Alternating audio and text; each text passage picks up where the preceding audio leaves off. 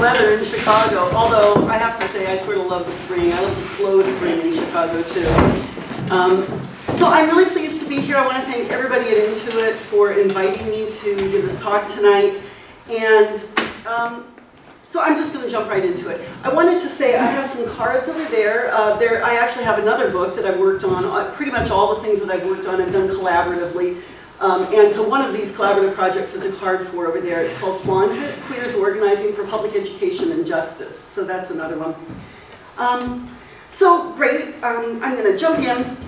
And I wanted to get start off with a little caveat uh, not an apology, but a caveat that this is not the queer history, obviously, but rather it's a queer and idiosyncratic history in and around Chicago that I'm going to be uh, offering you today. And although Joel doesn't like to use cheat sheets, I am going to read from my notes because that's just kind of how I have to do it.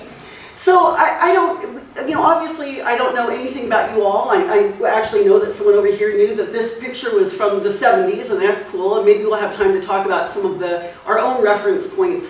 Um, but one of the reference points I don't know if you all have in the same way that I have is why queer? Like why, why this kind of terminology, why this framework? So you might ask that question, and you might not, but I'm going to offer you my explanation for it.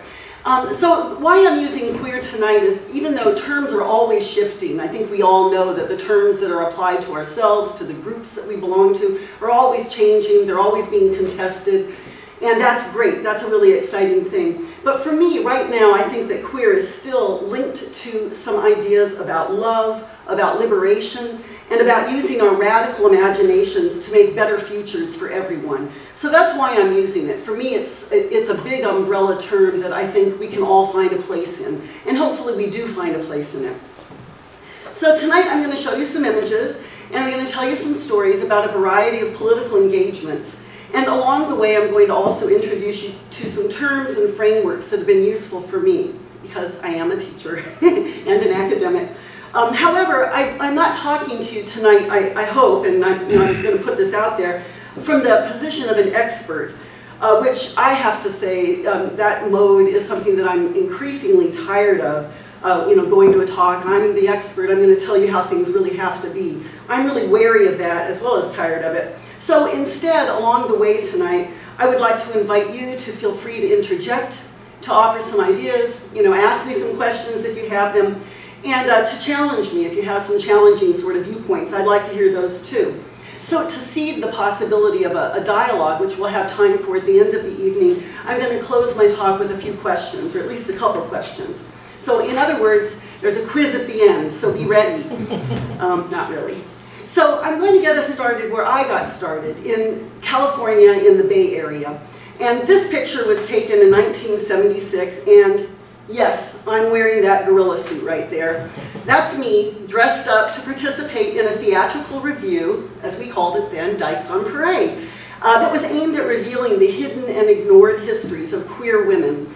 And so in this, this case, I was dressed up as a gorilla, and I don't know what kind of queer woman she was, but I also played a variety of other roles, from an Amazon to Queen Christina of Sweden. And this was really fun. I had a great time, and this was sort of my first uh, really venture into the idea that politics and parades could come together, and that we could look fabulous while also being political activists. Um, the equation of costume play, parades, and activist work was shaped by the context. The 1970s was rich with dress-up in the service of pleasure and also in the service of social movements. So for folks who aren't aware of what these images are about, I've, I've labeled them. The Cockettes were a big um, activist group, but also a, a, theatrical drama group, and if anybody out there knows more than that, they can chime in. And also Sylvester, who was a Bay Area uh, person who is a musician and also uh, part of the Cockettes and many other activists and political groups of the time.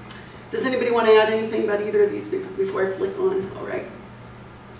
So we were building on lineages of similar kinds of work.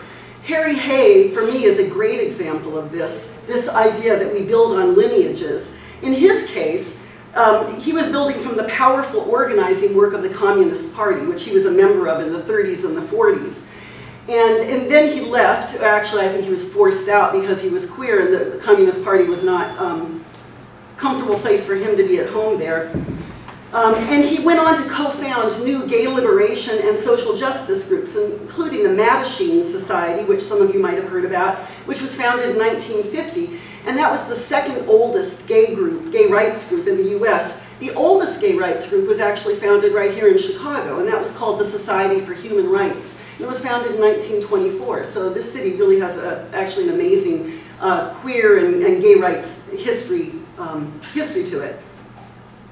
Um, and he also founded the Radical Faeries, which probably more people might be aware of, uh, which he, along with other people, started in the 1970s, the late 1970s.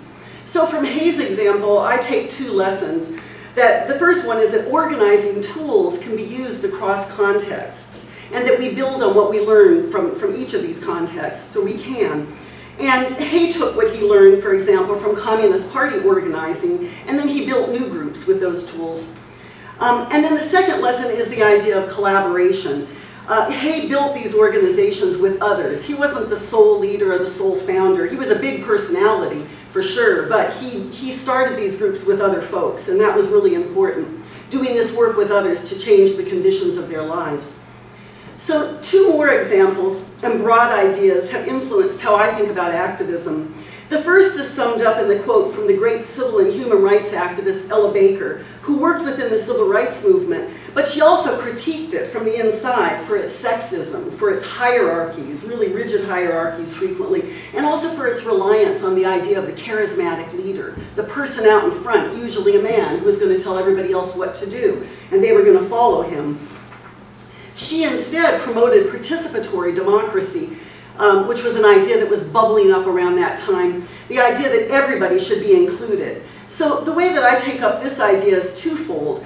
Uh, today, I try to avoid dealing with folks who present themselves as leaders who have all the answers, and I get involved in organizing where everyone is invited to play real and significant roles, and uh, where people actually get to try out new roles and, and grow into new, new kinds of positions and skills. And the second is the concept of intersectionality, or the ideas that the social and political categories that we occupy interact with each other. It, has anybody out here heard that term, intersectionality? Good, a few people have. Okay, These days, I'm telling you, it makes me feel old using these terms, but anyway. Um, so this is really important, I think, and you can see it summed up in this quote by Audre Lorde, the, the great author, um, that, that, that, none of us are one thing only, and that, that, oppressions or the categories that we occupy interact with each other, and we have to pay attention to all that stuff in our work. So I have a few examples to share next, and I think that all these ideas are going to show up in each of the examples. So not so long ago, these were common sites in Chicago. It was the beginning of the real estate bubble, and actually these sites I think are still pretty common in Chicago, unfortunately, even though that supposedly the bubble has burst. Uh, we're in some other kind of moment now, but it's similar looking. Property values at this time, though, in the, the sort of the late 90s, were increasing, taxes were going up, uh, rents were rising, and many people were being displaced. We heard a lot of talk at that time about gentrification, which is still something that people are concerned about, but I think at that moment people were really identifying that this is a problem, people are being pushed out of neighborhoods, this is called gentrification. This city, like others, joined forces with developers to brand and market neighborhoods and communities.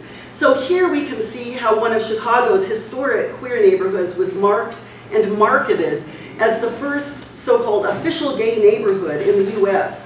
At the time, this was a controversial move, uh, at least to some people. There were people in Chicago who thought that's great, you know, neighborhoods should be marked like this. Um, although this, this, these pylons did not grow up as a community kind of um, response to the neighborhood. The community didn't choose this. Other people said this is, this is crazy, like, you know, who's benefiting from these kind of markers? Is it the real estate developers who are benefiting? What's going to happen to these communities when they get marked in these ways? Um, and the area, this area, had already become, at this point in time, too expensive for many of the, the gay homeowners who had lived there previously. And now uh, it was really turning into more of a bar and business, a gay bar and business owning, owning area than a real community that people were able to afford to live in. And so the, that move, as I said, was seen really by, as a move by some in the service more of developers and business owners, not the residents. So enter Queer to the Left, which was a group that I became involved with around this time in the 90s. A diverse group of queer activists working in Chicago in the late 1990s and in the early 2000s.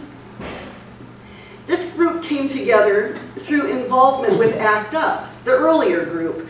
Um, and come on in, there's folks out there. Um, who, so again, building on that idea of uh, groups building on the knowledges that came before and taking organizing from one model uh, or one mode, one movement into another model or mode and movement. So we, I think, come on in, grab a seat. I think many of us are, are, aware of the work of ACT UP and how powerful that work was in changing the lives of many people in response to a terrible crisis that was happening. So building on the, the lessons that were learned through that activism and kind of overlapping with it, this group, Queer to the Left, rose up. And here you see an image, Power Breakfast, um, that was created by the ACT UP Chicago Women's Caucus. So Queer to the Left, in contrast, or well, not so different maybe from ACT UP, but, but focusing more broadly maybe, um, emphasized pleasure, love, play, building community, uh, the ways that we needed to nurture each other, really I think in some ways as a response to the work of ACT UP, as well as the, uh, paying much more attention to, or really conscious attention to the intersections between oppressions. So we like to march in coalition with other radical groups in, gay, in, in, the Gay Pride Parade here in Chicago and really paid attention to how we were able to support the work of other groups like uh, the trans groups, youth groups, uh, just many other groups. Usually we all jumped into the parade and we were not the official part of the parade, but um, groups, you know, finding um, a, kind of a community together. And we were constantly trying to think of ways to interrupt what we saw as the increasing kind of homogeneity of the Gay Pride Parade and also the, the lack of political focus of the Gay Pride Parade here in Chicago, but more broadly nationally. Um, and again, the, the, parade was often being marketed as a, a, piece of this neighborhood that was marked by those pylons, and it was marketed to tourists, and it was seen, seen to us that it, it frequently uh, further and further away from the things that were actually shaping the lives of of gay people in Chicago. Uh, so here I, I, thought we were sort of flaunting our anti-capitalist politics and also our opposition to state brutality and different forms of state brutality. In addition to doing things like uh, participating in the Pride Parade, we held forums on the death penalty and um, housing issues, the idea that housing is a queer issue and that, it, that uh, traditional issues that we're seen as gay issues uh, in, in the same way now that we have these issues that are kind of considered the gay issues like marriage and the right to serve in the military, we're saying we're, we're not paying attention to the issues that actually impact people's lives much more significantly in some ways, housing, healthcare, those kinds of things. And also, of course, we participated in movements against the war, more affordable housing. And we, um, tried to think about ways to reframe the advertising that was targeting queer communities and had targeted for quite a while, but it seemed increasingly uh, targeting queer communities by talking back to ads like these, to Absolut ads, and there are many, many others that were created by Absolut. Uh, with stickers like these, which we made and plastered around and passed out. Thank you.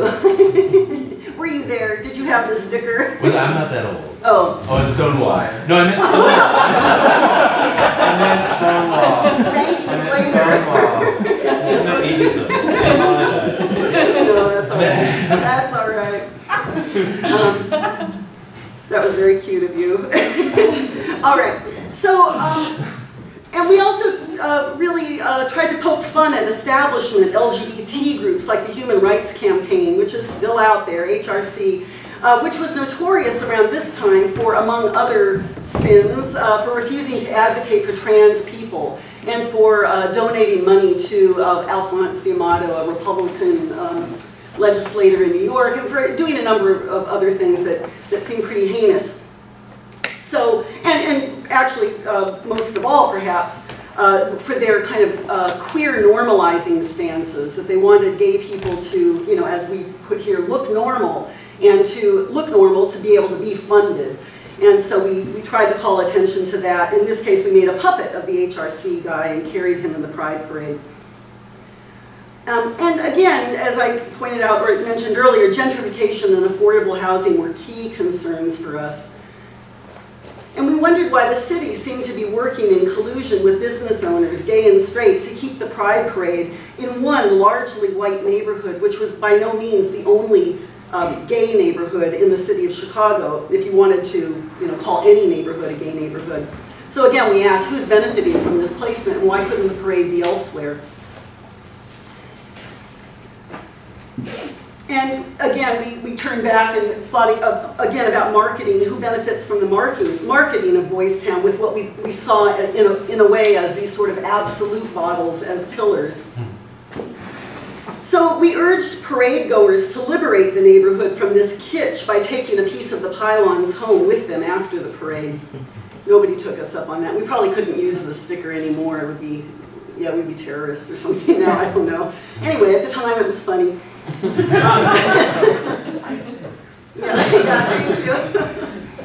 So a few blocks away in my own neighborhood, in the 47th Ward, similar ideas and fears were being expressed. And so now I'm kind of transitioning to another mode of activism. Um, and so at, at the time, uh, how many people have been in Chicago through the 90s? Anybody else here through, during that time period? So you might have remembered seeing around town there were a lot of these signs. People were just graffitiing up everywhere, no yuppies, yuppies go home, die yuppies, things like that. And again, it was this sort of fear of, well, uh, not just fear, but the actual pain of being displaced from neighborhoods, and people weren't quite sure where to direct it. So it got directed in this way. And the 47th Ward alderman, the 47th Where I lived, which was the kind of the north center area, that um, neighborhood that's also called St. Ben's, um, that alderman, Eugene Schulter, uh, was uh, he played heavy Chicago machine politics, doing things like doning out zoning changes and development approvals to uh, primarily people like real estate uh, folks and developers who made contributions to his campaign fund. And people were also acting up against him in these ways. So this is just an example of neighborhood, another form of neighborhood graffiti. Um, I had nothing to do with that, but I thought it was really interesting that, that this was another expression of this real anger about what was happening in, in the neighborhoods and who was benefiting from these changes, these really rapid changes.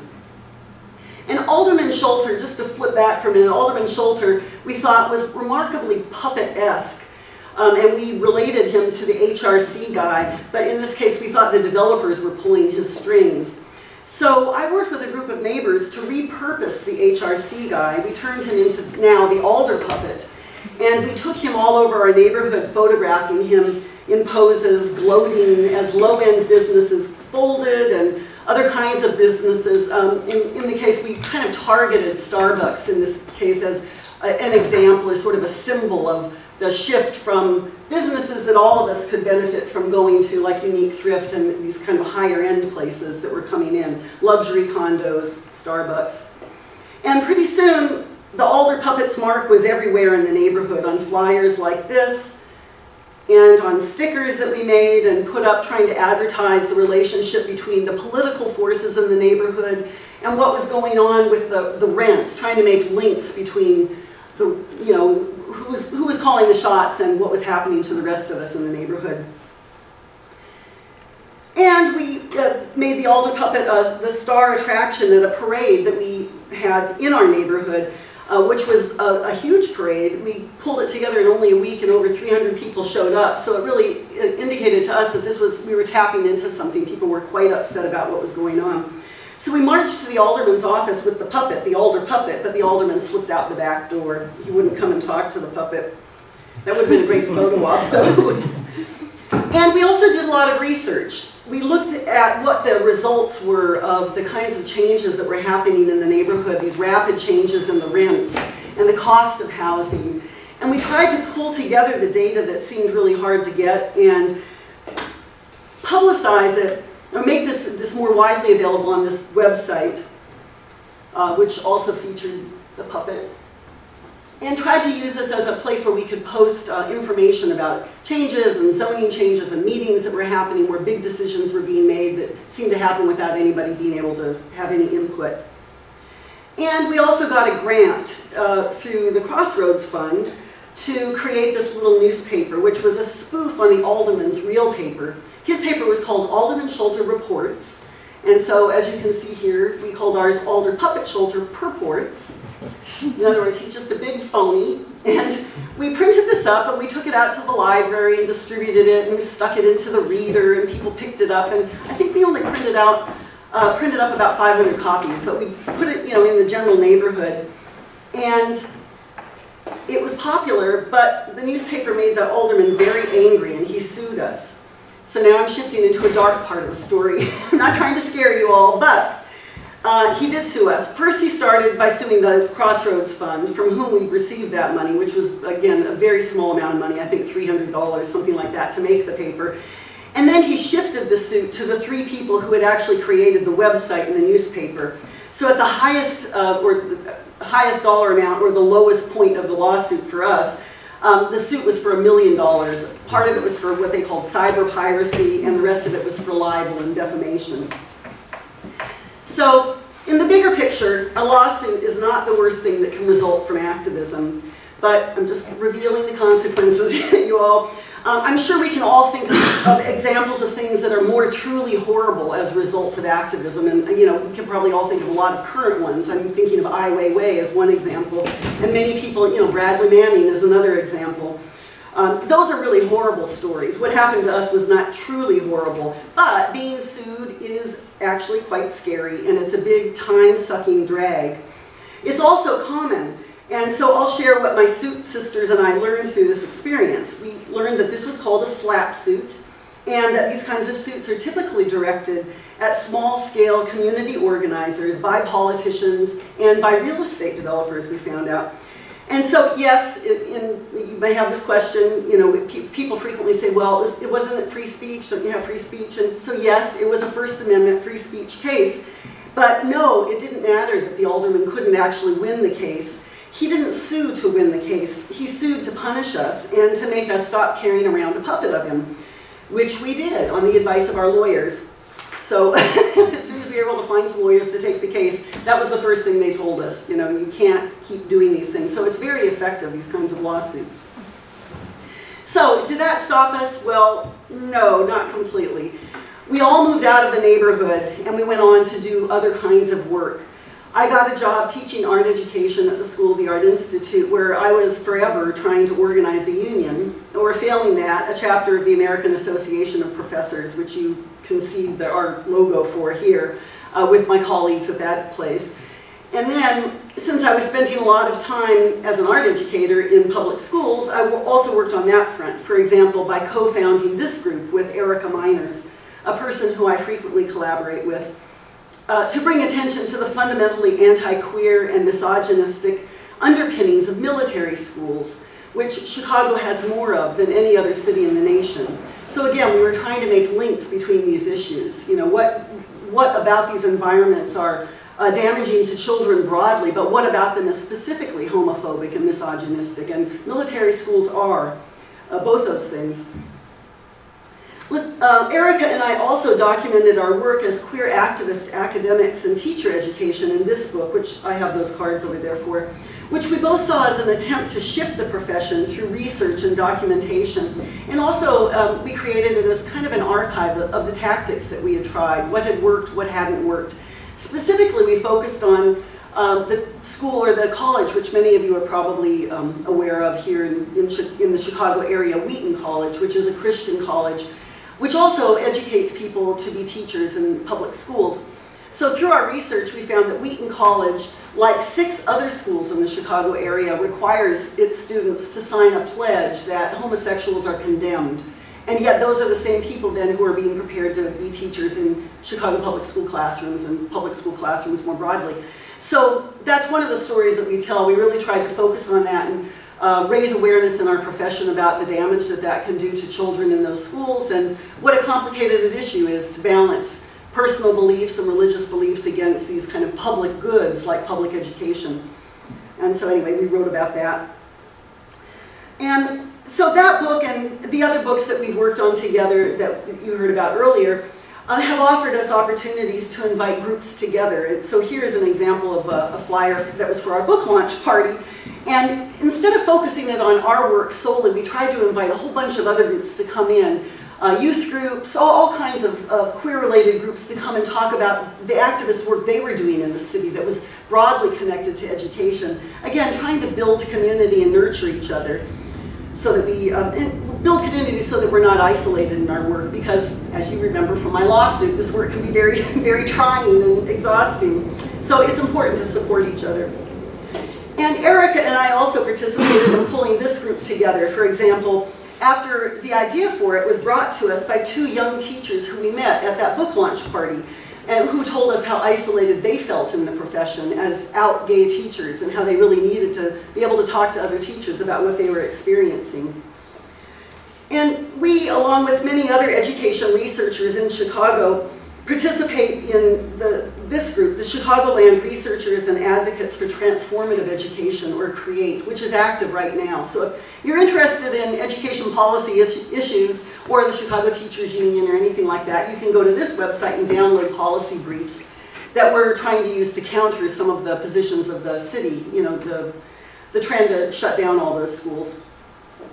So, as you can see, I have managed to find any number of places to jump in and work I would like to invite you to join me in this work. So I, to close out, I'm just going to say here are a few of the things, I've, I've summed it up here, uh, the things that I've learned so far, things that have been useful to me.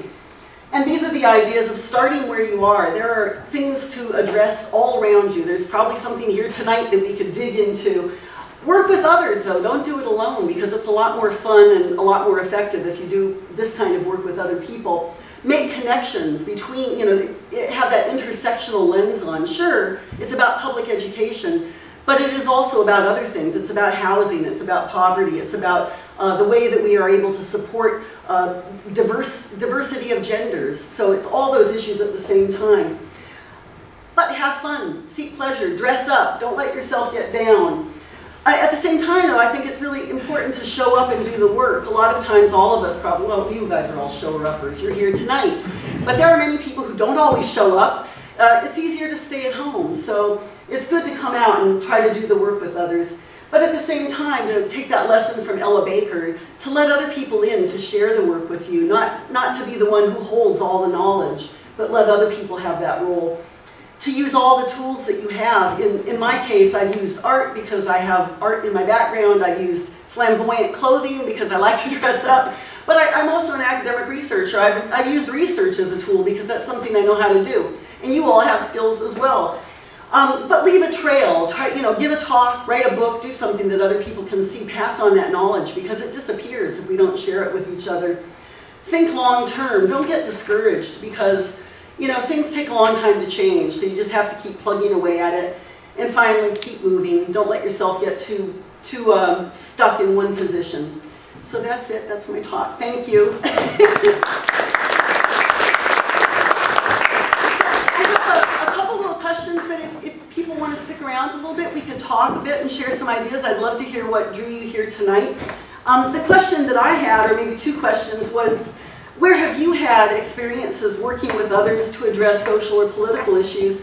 And what were the things that you did together? What was useful and effective? What did you think you'd want to continue doing? And what did you find really a drag about it? So does anybody want to chime in or just say who you are and what, what brought you here tonight? Anyone, anywhere. You in the front row.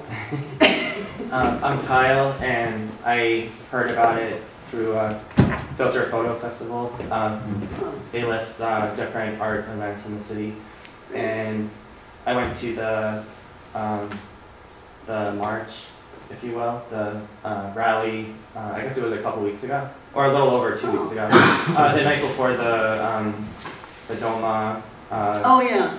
Arguments in the Supreme Court and the Prop 8. Um, yeah. And I went to support the cause, but also like for photo ops. Yeah, yeah. so that's Great. what drew me here. Good, thank you for coming. Anybody else who would like to say anything about what brought you here? I don't have anything to say about that, but I have a question okay. for you. Ask me a question too. You know, someone that's gone to the Gay Pride Parade here in Chicago for over a decade and has seen it morph and change. It's getting very political, and it was interesting to hear you say you wanted to politicize it in the uh -huh. beginning, and now it's like, as somebody that just sort of wants to go and be part of the social thing, and yeah you're waiting for these politicians that just show their face for the day of the parade because well we're we're Right. supporting this, and then, you know, you're like, where's the fun in the parade anymore? Where's, I mean, I know it's parades as activism, but where is the sort of balance between, do you have any thoughts on that? Yeah, well, I think that's a great question, and I'd like to hear other people's perspectives, but my experience of the parade is that, or the way I've thought about the parade is when that parade first started, it, it, it was just a ragtag group of people carrying signs, right, about whatever their thoughts were. So it was, it was a, a, a movement for liberation that grew up out of community that needed that liberation. The kind of politics I think you're talking about is, I see as like a usurpation of this other earlier thing. I, who wants those politicians? Yeah. What have they done for us lately? Like, I, if Rahm Emanuel shows up this year, I, I'm going to want to throw up. I really. So that's just my feeling about it. Yeah, Please does. yeah.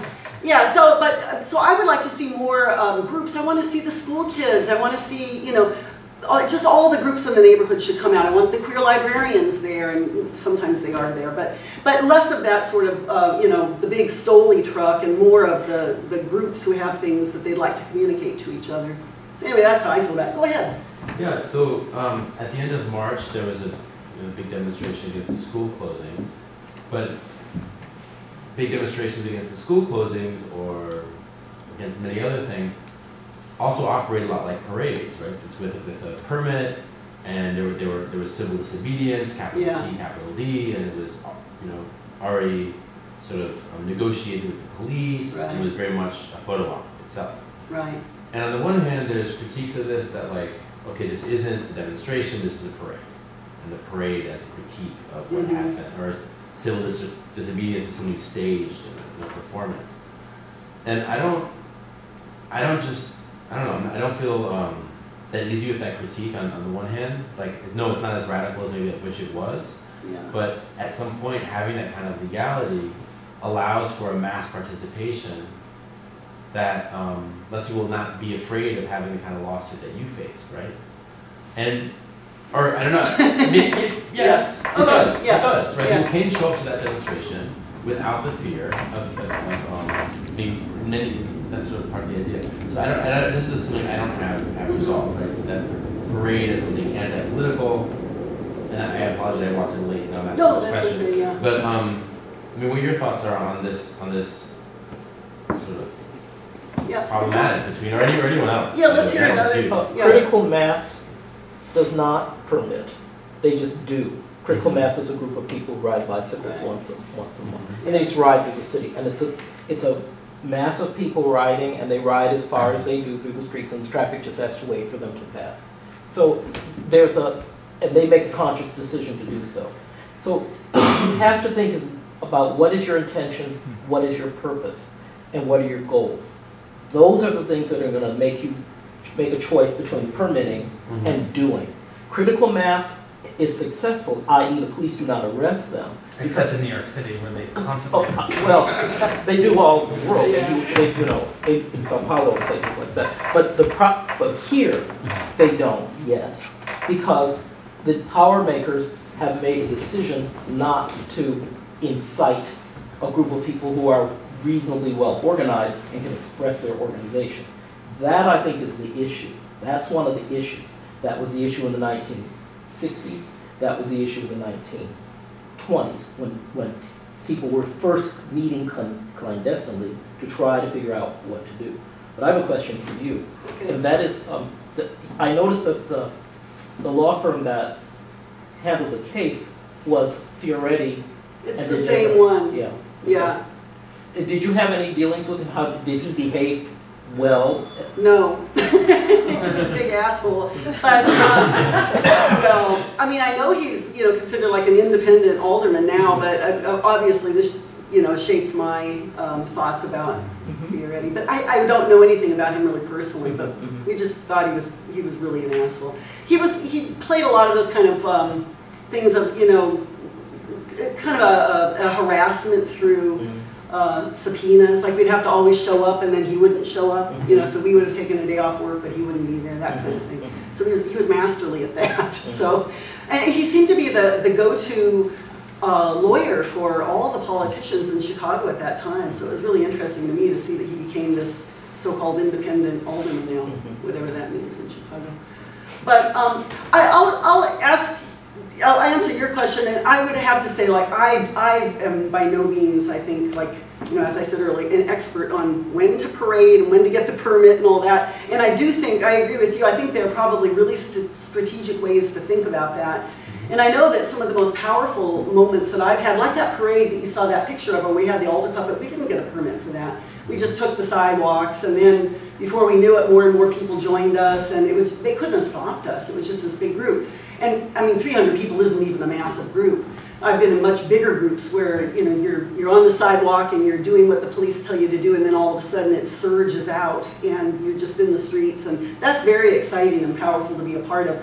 But there's probably a reason why, at the same time, you plan things, you know, strategically for a photo op, and the Chicago Teachers Union has a need for some of those things, and there's symbolic arrests and all that. I understand that as well. And a lawsuit against them would look much differently than this. Yeah, oh, for sure, yeah. Well, they're never gonna get sued like that because they're just smarter than, than, yeah. But, yeah, so I think there's different modes for, for these things, which is why I think it's important actually to kind of document this stuff and say, you know, how did it work? How did it play out for you? Yeah. Um, other, other thoughts and questions or just curiosities about any of these images that I showed or movements that I talked about?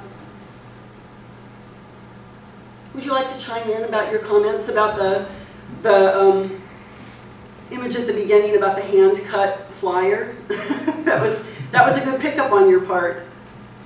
Oh, it's just you know, that's you know, Yeah. I, I came of age as a organizer in the Bay Area as well. oh, you did. Okay.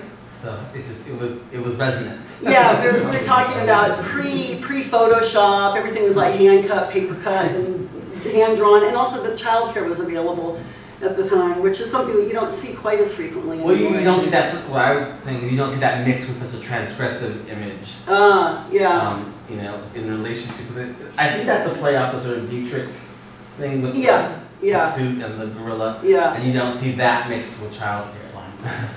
Um, There you go. So, Yeah. Which Yeah. was, you know, the, um, sort of that era of lesbian feminism No, or it wasn't. Yeah. Any way. I think nothing in the Bay Area was then, actually. I mean, there was a very political time. What years? Uh, 76. Yeah, 1976. Uh, what other kinds of things are people here involved with? Uh, If you're involved with any kind of political organizing or movement stuff, what gets you motivated? What do you think are the really big issues that we should be focused on? Well, I'm, I'm here because of the idea of using art education as a means of overcoming uh, this sort of rigid test-bound regurgitation of facts. And Oh, yeah. it, it has always been so. Um, I worked 15 years ago now with a public housing group that started its own um, art group for its children.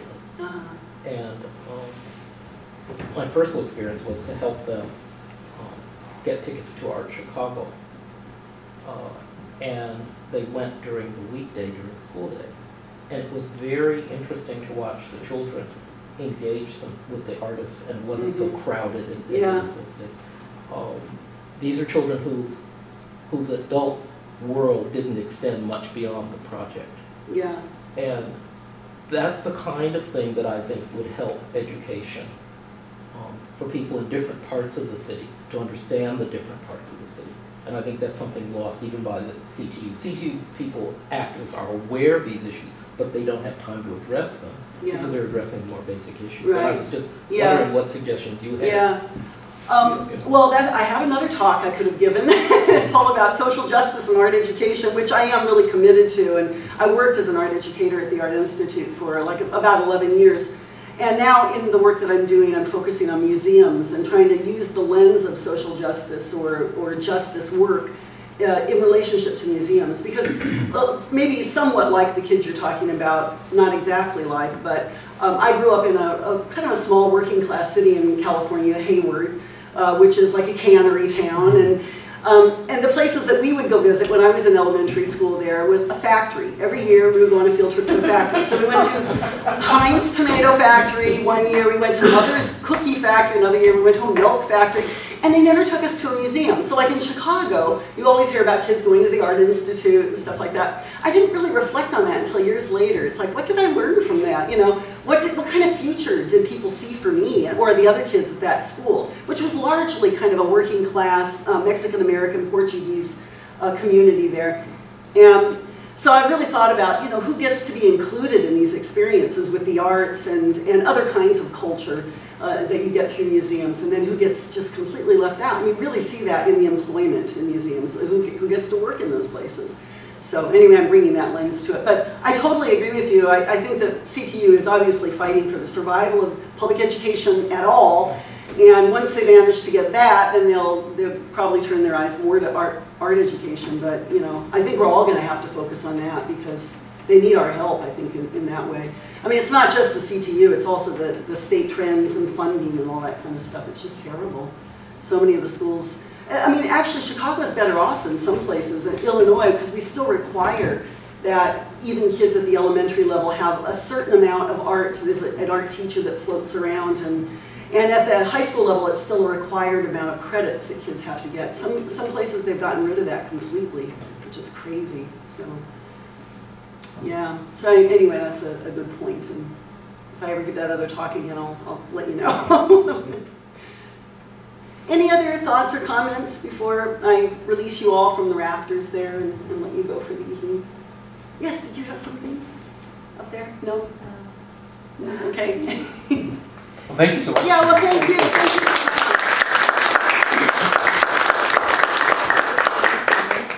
Go out there and prosper. Yeah, walk around